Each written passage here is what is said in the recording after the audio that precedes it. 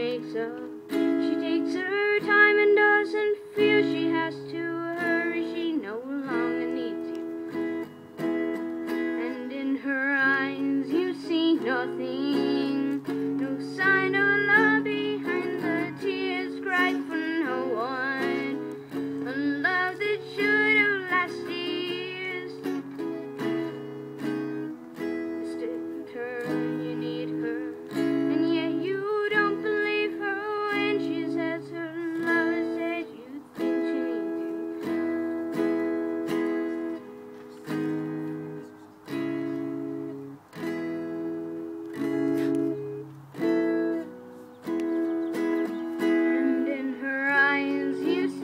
nothing,